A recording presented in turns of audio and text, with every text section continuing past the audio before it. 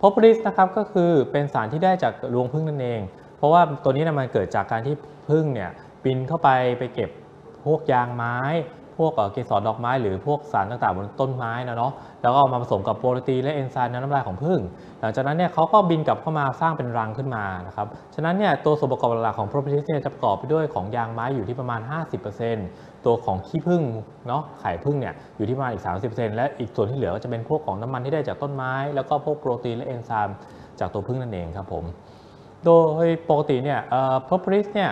พึ่งเนี่ยจะเอาไปใช้งานทุกท่านทุกอย่างเลยตั้งแต่ซ่อมแซมรังเนาะซ่อมแซมรวงพึ่ง หรือที่น่าสนใจอันหนึงก็คือว่า เวลาที่มันมีแมลงหรือผู้บุกรุกมาเนาะแล้วพึ่งสู้สู้สู้กันหรือพึ่งตายในนั้นนั่นแหละพอมันตายแล้วเป็นซากในรังเนี่ยถ้าเกิดปล่อยไว้เฉยๆเนี่ยมันก็เน่าคารังอะเนาะปกติพึ่งเนี่ยเวลาที่มีพวกอินเวเดอร์พวกนี้เข้ามาเนี่ยผึ้งจะเอา propolis เนี่ยไปเอาไปคลุมศพไว้แล้วกันเอาไปคลุมแบบซากพวกนั้นไว้ แล้วก็เราพบว่าเฮ้ยซากพวกนั้นเนี่ยมันไม่เน่าเปื่อย แล้วสักพักนึงก็จะกลายเป็นส่วนหนึ่งของรังผึ้งไปเลยนะครับผมซึ่งตรงนี้น่าสนใจตรงที่ว่า propolis เนี่ยน่าจะมีคุณสมบัติในการต่อต้านจุลชีพ พวกเป็น antiseptic อะไรหลาย ๆ อย่างครับผม ประโยชน์ของ propolis เนี่ยเราค้นพบมาตั้งแต่สมัยโบราณแล้วล่ะครับเนาะว่าพอพลิสเนี่ยเมื่อก่อนพวกรังผึ้งพวกอะไรเนี่ยถูกใช้ในเรื่องของเป็นสมุนไพรที่ใช้ในการรักษาแผลลดอาการปวด คนโบราณเนี่ยอย่างเช่นถ้าดูหนังจีนสมัยก่อนเนาะก็จะแบบมีการปีนขึ้นเขามาไปเก็บรังผึ้งหยกมาเอามาผสมกับสมุนไพรแล้วก็ทายาแผลโดนดาบฟันอย่างเงี้ยแล้วเขาพบว่าเฮ้ยแผลมันหายลดการอักเสบได้ คนสมัยก่อนเนี่ยโดนมีดบาดก็ตายได้นะครับแล้วเขาพบว่าไอ้พวกรังผึ้งผสมกับสมุนไพรเนี่ยมันช่วยในการทำให้แผลสมานเร็วขึ้นและหายเร็วขึ้น ซึ่งจุดนี้เนี่ยก็จะมีอันหนึ่งคือคนอียิปต์เนี่ยถ้าเมื่อก่อนเราจะพบว่ามีเอกสารบางอย่างที่เขาบอกว่าคนอียิปต์เมื่อก่อนปวดฟันเขาจะเอาพวกรังผึ้งมามาเคี้ยวผสมกับพวก มุนไพรบางตัว แล้วก็ทำให้หายอาการปวดฟันได้นะครับในปัจจุบันในเราเองเนี่ยแล้วงานวิจัยหลาย ๆ งานเนี่ยก็เลยศึกษาว่าทำไมพ o พลิสถึงมีคุณสมบัติในการต้านจุลชีพและต้านการอักเสบได้ ซึ่งตรงนี้เขาพบว่าตัวของพ o พลิสเนี่ยมันอุดมไปด้วยสารpolyphenol หลาย ๆ ตัวเช่นเขาเรียกว่าพวกพวกของ phenolic compound นะครับ โดยเฉพาะตัวพระเอกของเราที่เรียกว่า CAPE หรือ caffeic acid phenethyl ester นะครับ ซึ่งตัวนี้เนี่ยถือได้ว่าแบบมีเป็นตัวออกฤทธิ์หลักเลยในพ o พลิส ซึ่งมันสามารถทำให้ในเรื่องของการต้านจุลชีพและลดการอักเสบได้อย่างแท้จริงนะครับผม นอกจากนี้เนี่ยอย่างที่บอกเนาะมันสามารถต้านไวรัสได้ ต้านจุลชีพได้มีงานวิจัยแล้ว ก็อาจจะทำเนื่องจากว่า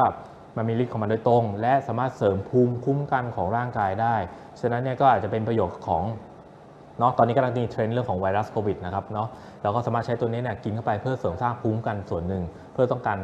ป้องกันในเรื่องของการติดหวัดติดเชื้อหลาย ๆ ตัวได้ครับผมประโยชน์ด้านอื่นของ propolis เนี่ย ก็มีเหมือนกันเนาะเพราะว่านอกจากเคฟแล้วเนี่ยใน propolis เองยังอุดมไปด้วยสารต้านอนุมูลอิสระค่อนข้างเยอะมากมาก ๆ เลยแหละ ฉะนั้นเนี่ยไอสารต้านอนุมูลอิสระพวกนี้เนี่ยมันสามารถช่วยลดการอักเสบของเนื้อเยื่อได้เนาะอนุมูลอิสระทำให้เนื้อเยื่ออักเสบเนาะเนื้อเยื่ออักเสบสามารถหลีดไปได้ถึงพวกการเกิดมะเร็งเกิดขึ้นได้ ฉะนั้นเนี่ยใน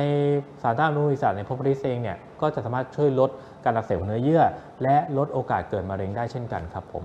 นอกจากนี้เนี่ยพอพลิสเองเนี่ยเราจะพบว่ามีหลาย ๆ ท่านหลาย ๆ แบบผลิตภัณฑ์เนี่ยเอาไปผสมด้วยเหมือนกันเนาะที่เห็นได้ชัดผมเคยใช้มันมาก่อนเหมือนกันก็คือว่ามีการผสมพอพลิสลงไปในยาสีฟัน ซึ่งมันก็ดีนะเพราะว่ามันช่วยหนึ่งคือลดกลิ่นปากเนาะมันมีลิตต้านจุลชีพมันทำให้แบคทีเรียในปากโตช้าลงกลิ่นปากก็ลดน้อยลงรวมถึงลดการอักเสบของเหงือกและฟันได้ด้วยเหมือนกัน ทีนี้อีกอันหนึ่งก็จะเห็นว่ามีพวกครีมทาพวกผิวอักเสบเนี่ยก็มีบางเจ้าผสมพอพลิสเข้าไปได้เหมือนกัน ก็ทำให้ผิวอักเสบเนี่ยมันสามารถดีขึ้นได้ในเร็ววัน หรือแผลหายเร็วขึ้นครับ